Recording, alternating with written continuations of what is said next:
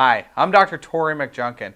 A sphenopalatine ganglion block is a minimally invasive procedure that is effective at treating acute and chronic head and face pain. Patients who have experienced pain in their face and head should consider a sphenopalatine ganglion block, especially when other diagnostic methods and treatments have failed to provide relief. Before the procedure, an IV line is started so that the patient can be given sedation as needed.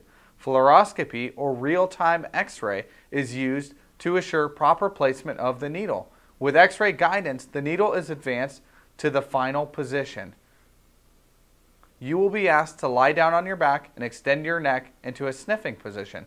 Next, the small needle is advanced to the correct location and a local anesthetic mixed with a steroid is injected.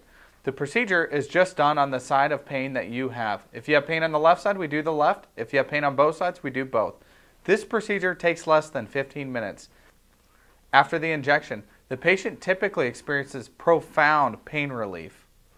For more information about sphenopalatine ganglion blocks, please visit arizonapain.com.